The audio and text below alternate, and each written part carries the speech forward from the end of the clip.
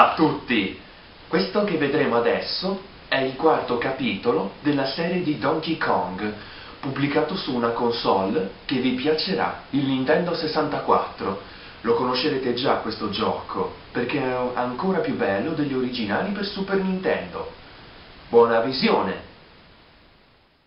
Se abbiamo già visto tutti gli episodi della serie di Donkey Kong pubblicati sul Super Nintendo, quando arrivò il Nintendo 64 anche qui arrivò il suo Donkey Kong, rilasciato nel 1999 dalla Rare, e questo gioco è veramente straordinario, un degno seguito degli originali episodi 2D eh, pubblicati sul Super Nintendo.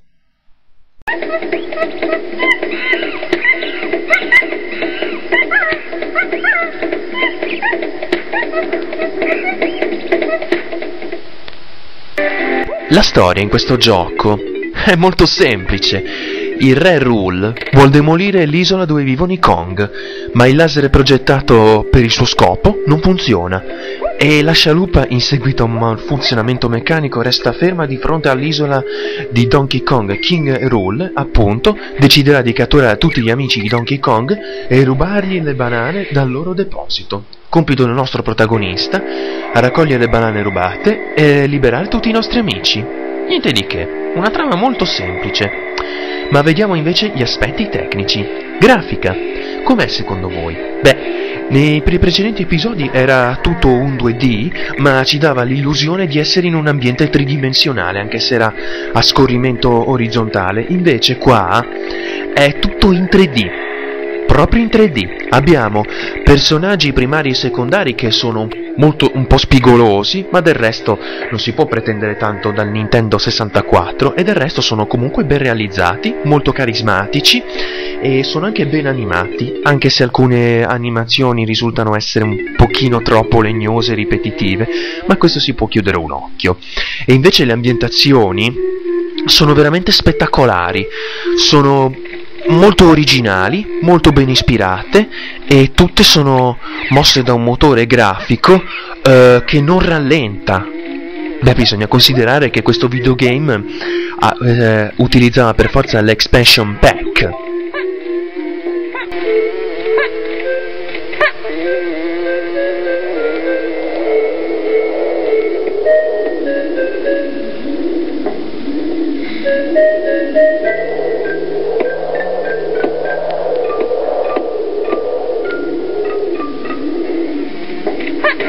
Invece per quanto riguarda il sonoro abbiamo tanti effetti sonori completamente nuovi rispetto alle versioni eh, per Super Nintendo e sono molto simpatiche da ascoltare e anche per quanto riguarda le musiche, sono tutti temi tribali completamente nuovi, originali, alcuni sono un pochettino ripresi da, da quelli pre, per Super Nintendo, ma sono stati ridigitalizzati, rimasterizzati, adattati ai chip audio del Nintendo 64 e sono molto simpatiche.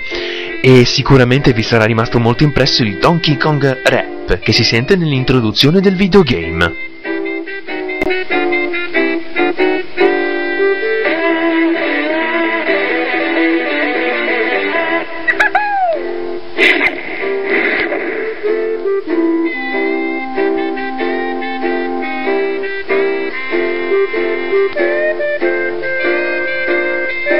Invece per quanto riguarda la giocabilità, il nostro gioco è un platform a scorrimento tridimensionale e il nostro scopo è certamente partire ovviamente all'inizio di un livello e arrivare alla fine del livello, però se nel primo cap- nei cap- capitoli precedenti per Super Nintendo il gioco era un po' lunghino, invece è un po' cortino, ci sono solo 8 livelli, in ognuno dobbiamo trovare ben 500 banane da raccogliere, 100 di uno stesso colore che vale per ogni personaggio e addirittura 25 maxi banane.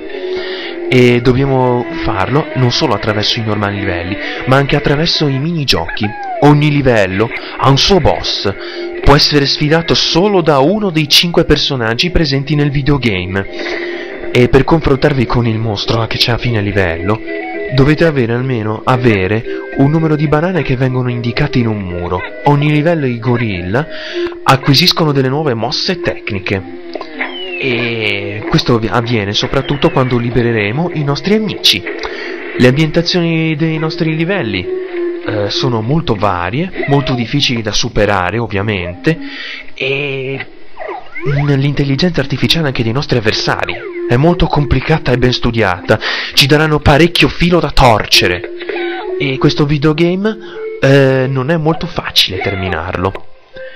Una cosa molto interessante è che in questo Donkey Kong dovete fare anche delle mosse molto simili a quelle di Super Mario 64, tipo accovacciarsi, dare pugni, saltare e anche modificare la telecamera come vogliamo. Infatti questo gioco è uscito un po' dopo Super Mario 64 e risulta essere una valida alternativa a quel ottimo gioco Nintendo.